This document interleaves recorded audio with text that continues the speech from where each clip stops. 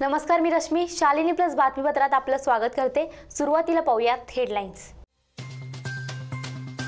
मुंबईकरांना no tension तलावामध्ये एक वर्ष पुरेल इतका पाणीसाठा ज्येष्ठ अभिनेते दिलीप कुमार यांची प्रकृती बिघडली उपचारासाठी मुंबईतील लीलावती रुग्णालयात दाखल.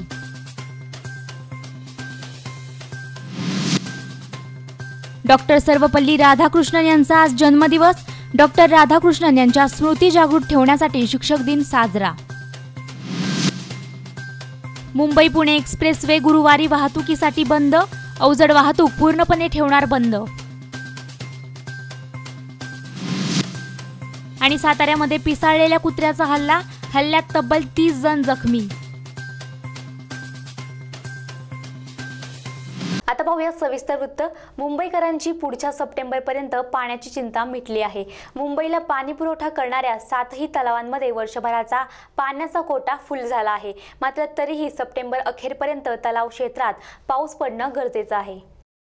मुंबईला पाणी पुरवठा करणाऱ्या तलाव क्षेत्रात सध्या शहाण्णव टक्के पाणीसाठा आहे. मात्र एक ऑक्टोबरला असणारा पाणीसाठा पुढच्या वर्षी पाणी नियोजनासाठी ग्राह्य धरला जातो. त्यामुळे सध्या तलाव भरले असले तरी सप्टेंबर अखेरपर्यंत पाऊस पडला तर पाणीसाठ्यात घट होणार नाही. मुंबईला पाणी पुरवठा करणाऱ्या सात तलावात तेरा लाख पंच्याण्णव हजार तीनशे सहा दशलक्ष लिटर साठा जमा झाला असून हे पाणी पुढच्या सप्टेंबर महिन्यापर्यंत पुरेल. Bureau report Mumbai. ज्येष्ठ अभिनेते दिलीप कुमार यांची प्रकृती बिघडली आहे. दिलीप कुमार यांच्या छातीत संसर्ग झाल्यामुळे त्यांना उपचारासाठी मुंबईतील लीलावती रुग्णालयात दाखल करण्यात आलंय. दिलीप कुमार यांना छातीत दुखू लागल्यामुळे अस्वस्थ वाटत होतं. त्यामुळे दुपारी चार वाजताच्या सुमारास त्यांना वांद्रे परिसरातील लीलावती रुग्णालयात दाखल करण्यात आलं. दिलीप कुमार यांच्या ट्विटर अकाउंटवरून याविषयी माहिती देण्यात आली आहे. दिलीप कुमार यांना सध्या देखरेखीखाली ठेवण्यात आलं असून डिस्चार्जबाबत उद्या निर्णय घेण्यात येणार असल्याचं डॉक्टरांनी सांगितलं. दिलीप कुमार यांना अनेक वेळा रुटीन चेकअपसाठी रुग्णालयात दाखल केलं जातं. त्यामुळे काळजीचं कारण नसल्याचंही डॉक्टरांनी सांगितलं आहे. Bureau report Mumbai. गुरुर ब्रह्मा गुरुर विष्णू गुरुर्देवो महेश्वरा. गुरुर साक्षात परब्रह्म तस्मै श्री गुरवे नमहा. शिक्षक हा भावी पिढीचा शिल्पकार असून त्यांच्याकडून आपल्याला ज्ञान आणि जगाकडे पाहण्याची सकारात्मक दृष्टी मिळते. आपल्या गुरु आणि शिक्षकाविषयी कृतज्ञता व्यक्त करण्याचा हा दिवस. आज डॉक्टर सर्वपल्ली राधाकृष्णन यांची जयंती. आज प्रत्येक शाळेमध्ये शिक्षक दिन साजरा केला जातो. विद्यार्थी हे एका दिवसाचे शिक्षक होऊन विविध वर्गात जाऊन विद्यार्थ्यांना शिक्षण देतात. असेच काही क्षण सिल्लोड तालुक्यातील भवन येथील मॉडर्न इंग्लिश स्कूलमध्ये पाहण्यात आले. लहान मुली आपल्या शिक्षिकांप्रमाणे ड्रेसिंग करून शिकवताना दिसत होत्या. तसेच अणवा येथील शाळेमध्ये सुद्धा असाच एक क्षण दिसून आला. आज शाळेतील विद्यार्थी मोठ्या उत्साहात दिसत होते. काही विद्यार्थी मुख्याध्यापकाच्या वेशात आले होते तर काही विद्यार्थी शिक्षक बनून आले होते. ते विविध वर्गात जाऊन मुलांना शिकवत होते. यावेळी मुलांच्या चेहऱ्यावर शिक्षक बनून शिकवतानाचा आनंद दिसून येत होता. विद्यार्थ्यांना या क्षणाची पुरेपूर मजा लुटताना बघून शाळेतील शिक्षक आणि मुख्याध्यापक भारावून गेले. शालिनी प्लससाठी श्याम ठाकूर सिल्लोड औरंगाबाद.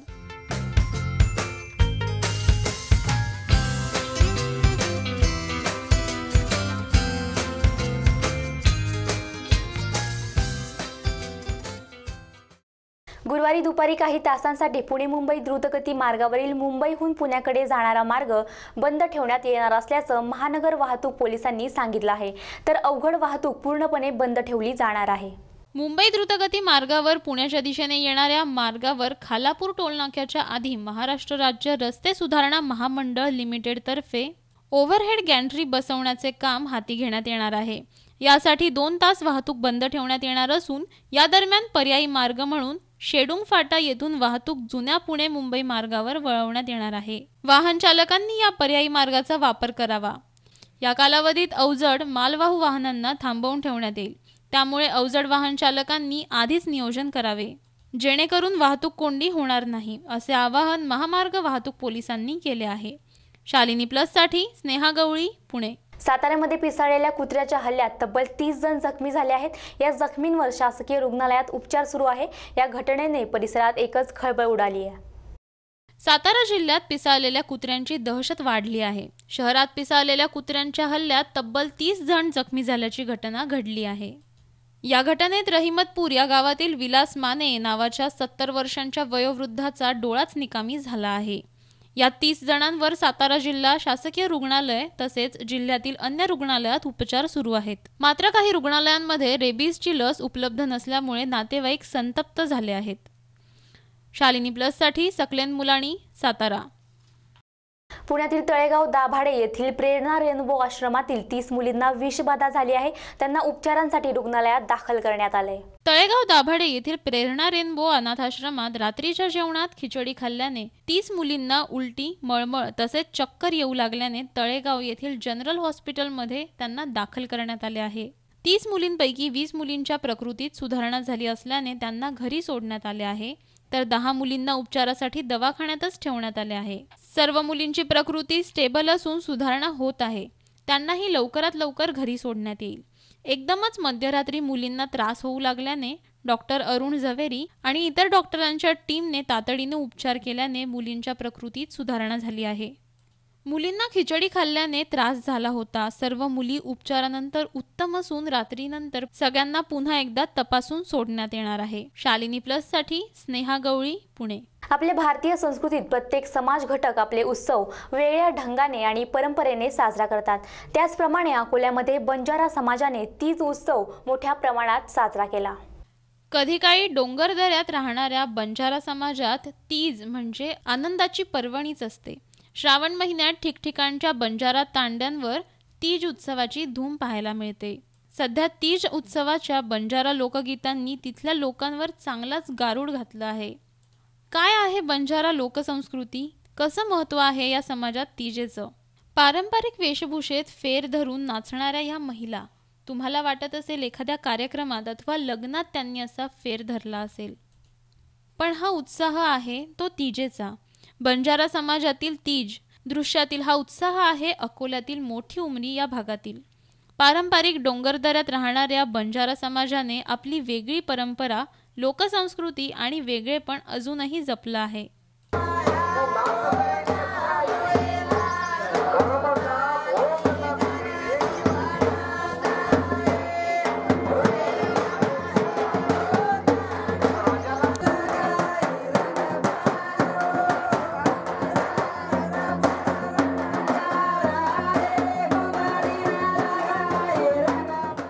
हे वेगळेपण अगदी चालीरीती पेहराव आणि बोलीभाषा या सर्वांमध्ये आलं तीज हा उत्सव म्हणजे बंजारा समाजाची दिवाळीच.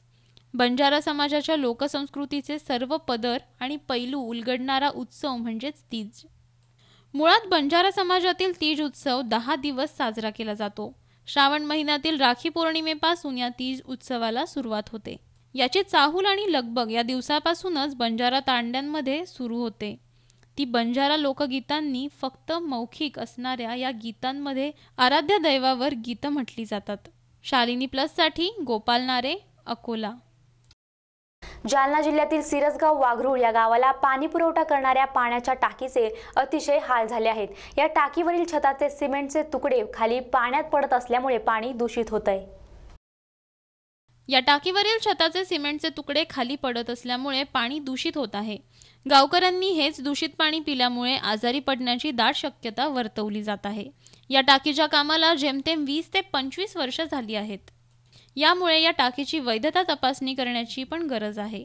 या टाकीच्या शेजारी बरेच घरे वसलेले आहेत आणि या टाकीची क्षमता पन्नास हजार लिटर असून ही टाकी पडण्याची दाट शक्यता असू शकते. शालिनी प्लसचे प्रतिनिधी या टाकीवर वृत्त संकलन करायला गेले असता ग्रामपंचायत खडबडून जागी झाली आणि टाकीतील पडलेले छताचे तुकडे बाहेर काढून टाकी धुण्याचे कामही सुरू केले आहे.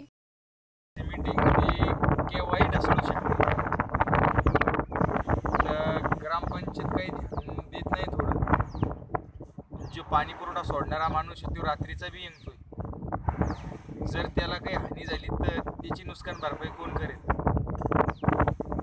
आणि जर शेजारी जी घरं आहे आजूबाजूला त्या घराच्या जर अंगावर पडली समजा त्या घराचा चकना सुरू मी टाकी आहे त्या छताचं पूर्णतः स्लॅब गळाला आहे.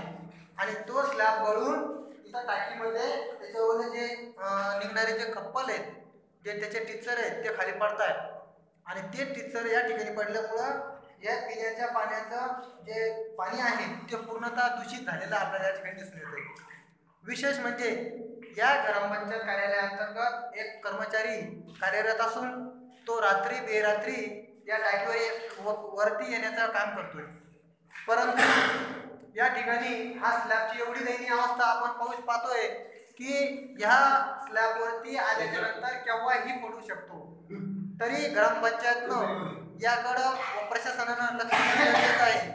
कारण नागरिकांच्या लक्षामध्ये येण्यासाठी कारण की प्रत्येक जण काही या टाकीवरती येऊन पाण्यासाठी रिकामा नाहीये. या ठिकाणी काही कर्मचारी या पाण्याची साफसफाई करताना दिसत आहेत. परंतु या वरून पडलेल्या स्लॅबमुळं या टाकीमध्ये एवढं दूषित पाणी झालेलं आहे आणि ते पाणी नागरिकांना प्यायला मिळत आहे शालिनी प्लससाठी सोनाजी जोगदंडे जालना. इस्लामपूरमध्ये दारूबंदीच्या ठरावाला सर्वानुमते मंजुरी देण्यात आली आहे. नगरसेविका सुप्रिया पाटील आणि शिवसेनेच्या प्रतिभा शिंदे यांनी त्यासाठी आग्रहाची मागणी केली होती. इस्लामपूर दारूबंदीच्या ठरावाला आज सर्वानुमते मंजुरी देण्यात आली. नगरसेविका सुप्रिया पाटील आणि शिवसेनेच्या प्रतिभा शिंदे यांनी त्यासाठी आग्रही मागणी केली होती.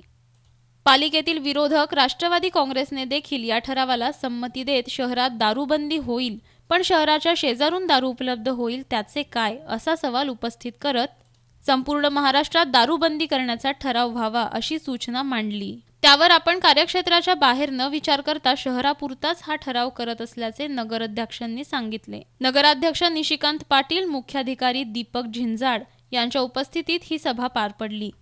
मागील सभेत दारूबंदीच्या विषयावर चर्चा सुरू असतानाच अटल बिहारी वाजपेयी यांच्या निधनामुळे सभा तहकूब करण्यात आली होती. त्यानंतर आज सभा सुरू झाली. विक्रम पाटील यांनी दारूबंदीचा प्रस्ताव मांडला होता. उरण इस्लामपूर नगर परिषदच्या आजच्या सर्वसाधारण सभेमध्ये उरण इस्लामपूर शहरामध्ये शंभर टक्के दारूबंदी करण्याबाबतचा ठराव सर्वानुमते मंजूर करण्यात आला. महाराष्ट्रातलं हे एकमेव शहर असावं की ज्या शहरामध्ये दारूबंदीचा ठराव सर्वानुमते मंजूर करण्यात आला. आणि या संदर्भामध्ये आवश्यक ती पुढील कारवाई करण्यासाठी संबंधित विभागाच्या अधिकाऱ्यांच्याकडे हा ठरावाची शिफारस करण्यात आली. मी इस्लामपूर शहरातल्या सर्व नागरिकांना या मागणीसाठी ज्यांनी ज्यांनी प्रयत्न केले त्या सगळ्यांना मनापासून धन्यवाद देतो. शालिनी प्लससाठी भगवान देवकर इस्लामपूर. एका रात्रीत युती तोडून भाजपाने पाठीत खंजीर खुपासला. भाजप हा विश्वासघातकी पक्ष आहे. आम्ही युती तोडल्यावरही तेवढ्याच ताकदीने लढलो आणि साठ जागा जिंकल्या. भाजपाचे नेते युती करा म्हणण्यासाठी मातोश्रीचे खेटे घालत असल्याचे शिवसेना नेते गजानन कीर्तीकर यांनी वर्धा येथील मेळाव्यात म्हटले. एका रात्रीत युती तोडून भाजपने पाठीत खंजीर खुपसला. भाजप हा विश्वासघातकी पक्ष आहे. आम्ही युती तोडल्यावरही तेवढ्याच ताकदीने लढलो आणि साठ जागा जिंकल्या. आज मोदी सरकार हरण्याच्या स्थितीत आले आहे. त्यामुळे भाजपाचे नेते युती कर म्हणण्यासाठी मातोश्रीचे खेटे घालत असल्याचे शिवसेना नेते गजानन कीर्तीकर यांनी वर्धा येथील मेळाव्यात म्हटले. मोदी सरकारच्या राज्यात जनतेला गुलामगिरीत ठेवत त्यांच्या आर्थिक नाड्या आपल्याकडे ठेवून जनतेला आपल्या मागे फिरवण्याचा प्रयत्न केला. पण हा महाराष्ट्र आहे. वेळ आल्यास शब्द न पाळणाऱ्या या सरकारला त्यांची जागा दाखवली जाईल. शिवसेनेचा वर्धा लोकसभा कार्यकर्ता मेळावा येथील स्वाध्याय मंदिरात घेण्यात आला. यावेळी शिवसेना नेते गजानन कीर्तीकर माजी खासदार अनंत गुढे माजी आमदार अशोक शिंदे हे उपस्थित होते. लढला तरी मिळणार आहे एकशे चाळीस पन्नास कशाला करता युती? युती तोडली एका रात्रीमध्ये. पाठीत खंजीर खुपसला आणि पुढे तुम्ही सांगता त्याप्रमाणे उद्धवजी एक तर्फी लागले संपूर्ण महाराष्ट्रामध्ये. मी पण अनेक ठिकाणी गेलो त्यांच्यावर एक तर्फी सर्व ताकदीनिशी लढले त्रेसष्ट जागा महाराष्ट्रामध्ये त्यावेळेला उद्धवजींनी आणल्या शिवसेनेच्या आणि त्याच निवडणुकीत सत्तर जागा महाराष्ट्रातल्या. दोन क्रमांकावरती आहेत दुसऱ्या क्रमांकावरती आहेत महाराष्ट्रातल्या. ही फसवणूक झाली ना आपली? जनाधार शिवसेनेचा अजूनही आहे. जनची शिवसेना आज कुठल्या स्तरावरती आहे? शिवसेनेची परिस्थिती दयनीय अजिबात नाही. जरा सुद्धा नाही. शिवसेनेचा जनाधार या महाराष्ट्रामध्ये सगळ्यात एक नंबरचा आहे शिवसेनेचा जनाधार फक्त लाट होती त्या मोदींची. आज ओसरलं सगळं. पायाखालची वाळू सरकार लागली. हेच आता पंतप्रधानपदी बसतील का म्हणून शंका निर्माण झाल्या. आणि म्हणून आम्ही चार खेटा घालायला लागल्या मातोश्रीला. की आपण युती तोडूया नको.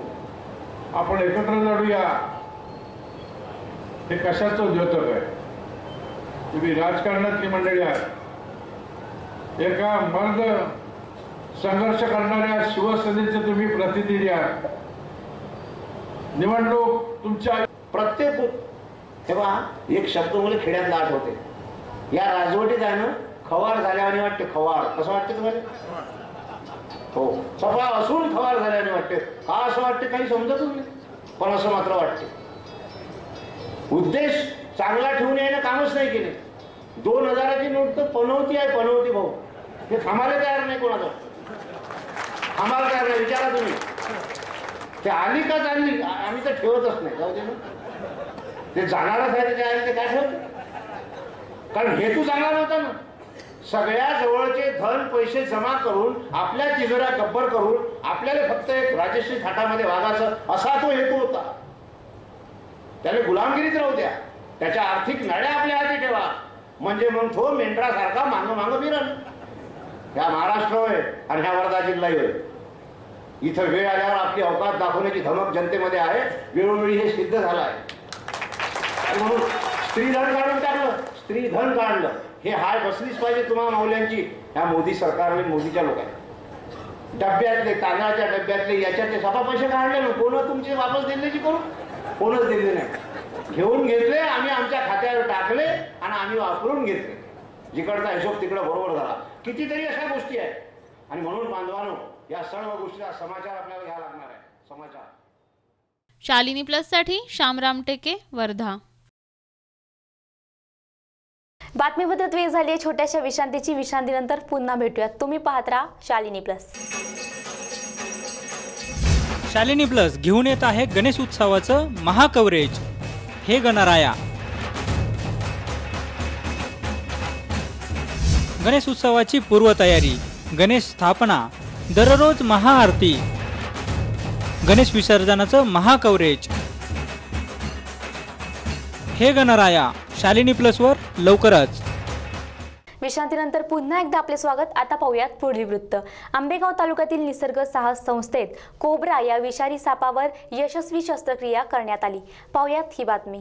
हा विषारी नाग आंबेगाव तालुक्यातील तुकाराम काळे यांच्या घराच्या छताच्या लोखंडी हुकामध्ये अडकला होता. परंतु हा नाग गंभीर जखमी झाल्याने या नागाला हुकामधून बाहेर निघणे अशक्य झाले होते. यानंतर सर्पमित्र धनंजय कोकणे यांनी घटनास्थळी जाऊन या विषारी नागाला काळजीपूर्वक बाहेर काढले आणि निसर्ग साहस संस्थेच्या अनाथ प्राणी उपचार केंद्रात दाखल केले. परंतु हा नाग गंभीर जखमी झाला असल्याने शस्त्रक्रिया करण्याशिवाय पर्याय नव्हता. त्यामुळे पशुवैद्यकीय अधिकारी अभिषेक परदेशी यांना बोलवून जखमी नागाची वन अधिकारी यांच्या समक्ष यशस्वी शस्त्रक्रिया करण्यात आली. या नागावर अंतर्गत त्वचेशी तीन आणि बाह्य त्वचेशी पाच अशा आठ टाक्यांची शस्त्रक्रिया यशस्वीपणे पार पडली आहे. बारामतीत परराष्ट्र मंत्रालयाच्या वतीने पासपोर्ट कार्यालय सुरू करण्यात आले. शरद पवार यांनी पासपोर्ट मिळवल्याचा अनुभव सांगितला. पाहुयात ही बातमी. बारामतीत परराष्ट्र मंत्रालयाच्या वतीने पासपोर्ट कार्यालय सुरू करण्यात आलं. याचं उद्घाटन शरद पवार खासदार सुप्रिया सुळे आणि परराष्ट्र सचिव ज्ञानेश्वर मुळे यांच्या उपस्थितीत झालं. यावेळी शरद पवार यांनी आपल्या आयुष्यातल्या पहिल्या पासपोर्टपासून तर परदेश दौऱ्यापर्यंतच्या आठवणींना उजाळा दिला. आपण महाविद्यालयात असताना मोठे बंधू माधवराव पवार हे परदेशात निघाले होते. त्यावेळी आपण त्यांच्या पासपोर्टसोबत फोटो काढल्याची आठवण त्यांनी सांगितली. मी कॉलेजमध्ये शिकत होतो. माझे मोठे बंधू आता हयात नाही त्यांचं नाव माधवराव पवार. हे पहिल्यांदा आमच्या घरातले परदेशात इंग्लंडला जायला निघाले. इंग्लंडला जायला निघाले आणि इथं अमरावतीत राहत होतो. आणि एक दहा पंधरा दिवस आमच्या घरात सगळ्यांची सगळी चर्चा जो आपल्या इतक्या लावून करण्याचं कसं व्हायचं कशाने जाणार बोटीने जाणार. आणि मग शेवटी जायचा दिवस ओढण्याच्या नंतर आणि सगळे दहा बारा लोक नातेवाईकांच्या सर्व मुंबईच्या बंदरात त्या बोटीच्या बाहेर उभं राहून त्याला हात करायला त्या ठिकाणी गेलो आणि त्यावेळेला मूर्तीचा प्रवास तीन आठवड्याचा परदेशामध्ये आणि त्याचा पासपोर्ट कधी बघितला नाही तो बघून आम्ही लोकांनी त्या पासपोर्ट आणि बोटीवर आमचे फोटो काढले. इतकी अशी परिस्थिती लावली त्याची त्या काळामध्ये आम्हाला लोकांना शालिनी प्लससाठी नवनाथ बोरकर बारामती. बुलढाणामधील नांदुरा शहरातील न्यायालयाच्या जागेसाठी भूसंपादन केलेल्या जागा मालकाला न्यायालयाने आदेश दिले. यानंतर ही मोबदला न दिल्याने मलकापूर उपविभागीय अधिकारी यांची खुर्ची जप्त करण्यात आली. नांदुरा शहरात न्यायालयाच्या इमारतीसाठी जागा आवश्यक असल्याने न्यायालय प्रशासनाने येथीलच अजाबराव देशमुख यांच्या मालकीची जागा भूसंपादित केली. यामध्ये योग्य मोबदला मिळाला नाही म्हणून अजाबराव देशमुख यांचे पुत्र किरण देशमुख यांनी न्यायालयात मोबदल्यासाठी प्रकरण दाखल केले होते.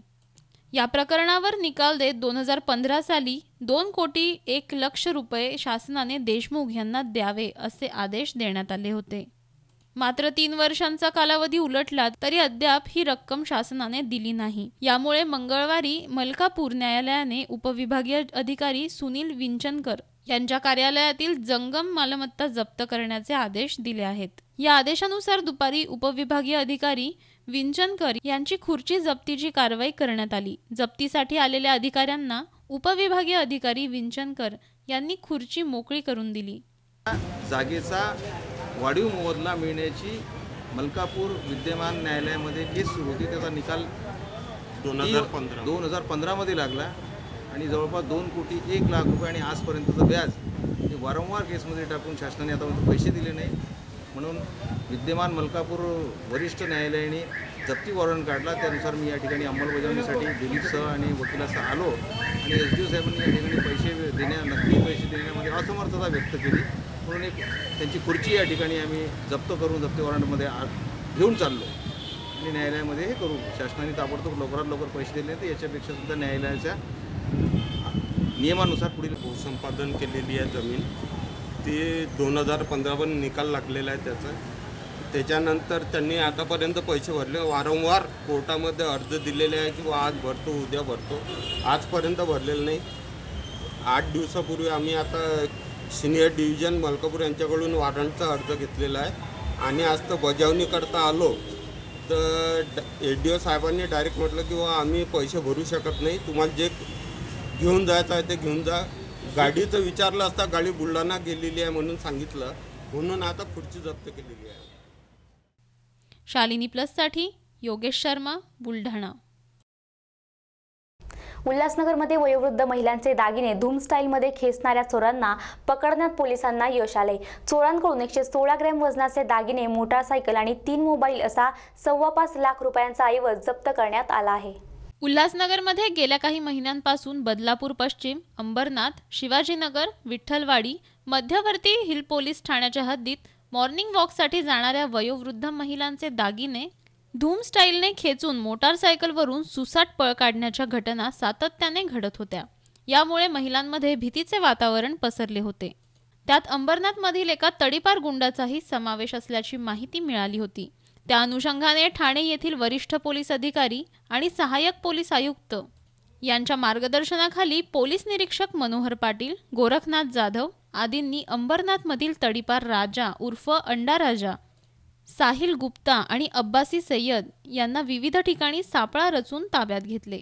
अंडा राजा आणि साहिल यांनी नऊ तर अब्बासी याने दोन असे अकरा गुन्ह्यांची कबुली दिली असून त्यांच्याकडून सोन्याचे मंगळसूत्र चैन मोबाईल आणि एक मोटारसायकल असा सव्वा पाच लाख रुपयांच्या वर ऐवज जप्त करण्यात आला आहे. अब्बासी याला न्यायालयीन कस्टडी मिळाली असून अंडाराजा आणि साहिल यांना पाच सप्टेंबर पर्यंत पोलीस कस्टडीत ठेवण्याचे आदेश दिले आहेत असे वरिष्ठ पोलीस निरीक्षक महेश तुर्डे यांनी पत्रकारांना सांगितले. गेल्या एक महिन्यापासून बदलापूर अंबरनाथ आणि उल्हासनगर या ठिकाणी सकाळी ज्या मॉर्निंग वॉकला सिनियर सिटीजन लेडीज जात होत्या. आणि संध्याकाळी साधारण सकाळचा सहा ते साडेआठपर्यंतचा टाईम आणि संध्याकाळी साधारण पाच ते साडेसहाचा टाईम ह्या टाईमला ज्या लेडीज अशा वयोवृद्ध साधारण सिनियर सिटीजन ह्या मॉर्निंग वॉकला आणि इव्हिनिंग वॉकला जात असताना एका काळा रंगाच्या पल्सरवर दोन इसम येऊन ते त्यांचे गळ्यातले चेन चोरी किंवा मंगळसूत्र चोरी करत होते आणि असा त्यांनी एक महिन्यापासून धुमाकूळ घातला होता. तर त्या अनुषंगाने आम्ही क्राईम ब्रँच युनिट चार आमचे ॲडिशनल सी पी साहेब C P C P sir Vivek Phansalkar यांच्या मार्गदर्शनाखाली अपर पोलीस आयुक्त गुन्हे पवार पवारसाहेब आणि डी सी पी देवराज साहेब यांच्या मार्गदर्शनाखाली समांतर तपास करण्याचे त्यांनी आदेश दिले होते. त्यानुसार क्राईम ब्रँच आम्ही समांतर तपास ह्या गुन्ह्याचा करत होतो. आणि समांतर तपासादरम्यान काही C C T V footage नंतर मिळाले होते त्या त्या ठिकाणची.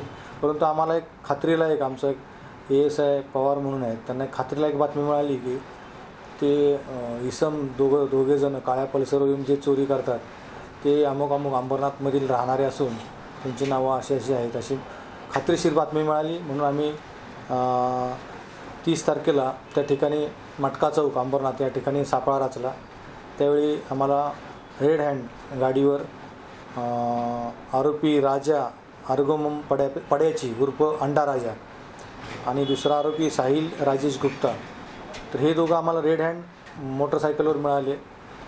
त्यांचे आम्ही त्याचवेळी ताब्यात घेऊन त्यांना आमच्या ऑफिसला आणलं. त्यानंतर त्या सर्वांनी त्या दोघांनी कबूल केले अंबरनाथ उल्हासनगर आणि झोन चारच्या हद्दीतील.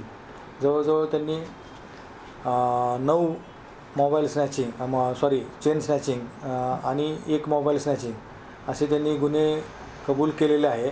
ॲक्च्युली हा जो आरोपी आहे राजा हा पल्सर गाडी चालवायचा आणि जो साहिल राजेश गुप्ता आहे हा पाठीमागे बसायचा तो चेन स्नॅचिंग करायचा. साधारण त्यांनी एकूण अकरा गुन्ह्यांची झोन चारच्या हद्दीतील कबुली दिलेली आहे. शालिनी प्लससाठी राजन बलसाने उल्हासनगर मुक्ताईनगर तालुक्यात एक कोटी रुपयांचा वाळूचा साठा जप्त करण्यात आलाय. संबंधितांवर कारवाई करणार असल्याचं महसूल अधिकाऱ्यांनी सांगितलं आहे. यामुळे वाळू माफियांचे धाबे दणाणले आहेत. मुक्ताईनगर तालुक्यातील कुऱ्हा काकोडा येथून जवळ असलेल्या रिगाव आणि कोराळा या गावात विनापरवाना रॉयल्टी नसताना ठिकठिकाणी वाळूचे थप्पे साठवून ठेवले होते.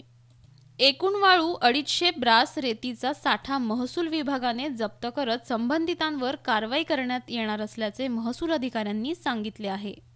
एक कोटी रुपये किमतीचा हा वाळू साठा असल्याचे कुऱ्हा येथील तलाठी आणि सर्कल यांनी सांगितले. या कारवाईने वाळू माफियांचे धाबे चांगलेच दणाणले आहेत. मुक्ताईनगर तालुक्यातील कोराळा आणि रिगाव परिसरात येत असलेल्या पूर्णा नदी पात्रात अवैध उत्खनन सुरू होते. त्याच अनुषंगाने महसूल विभागाने ही कारवाई केली आहे. कारवाई अशी करण्यात आली किंवा असे उपविभागीय अधिकारी भुसाळ बाग भुसाळ यांच्या आदेशान्वये आम्ही मुक्ताईनगर तालुक्यातून डायरेक्ट कुरा काकोड्याला आलो.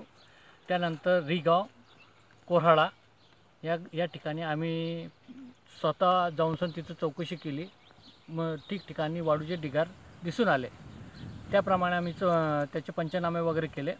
एका ब्रासच्या हिशोबाने एक एक ब्रासला पाच हजार रुपयेप्रमाणे. जर त्याच्यावर दंडात्मक कारवाई केली करण्यात आली तर एका ब्रासला पंचवीस हजार रुपये अशी एकूण साडेतीन अडीचशे ते अडीचशे ते तीनशे ब्रासच्या आसपास आम्ही त्याची जप्ती केलेली आहे. नाही जप्ती केलेली आहे. आणि त्या अन्वये आम्ही ज्या ज्या लोकांच्याकडे आपले वाळू साठा आहे त्यांना आम्ही त्या नोटीस वगैरे काढ एकूण रॉयल्टी अनुसार किंमत जवळजवळ एक करोडच्या आसपास शालिनी प्लससाठी रवी गोरे जळगाव. शेवटी पुन्हा एक नजर टाकूयात हेडलाईन्सवर मुंबईकरांना नो टेन्शन तलावामध्ये एक वर्ष पुरेल इतका पाणीसाठा ज्येष्ठ अभिनेते दिलीप कुमार यांची प्रकृती बिघडली उपचारासाठी मुंबईतील लीलावती रुग्णालयात दाखल.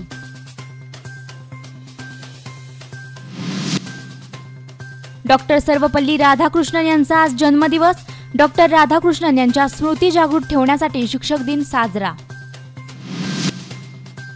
मुंबई पुणे एक्सप्रेस वे गुरुवारी वाहतुकीसाठी बंद अवजड वाहतूक पूर्णपणे ठेवणार बंद.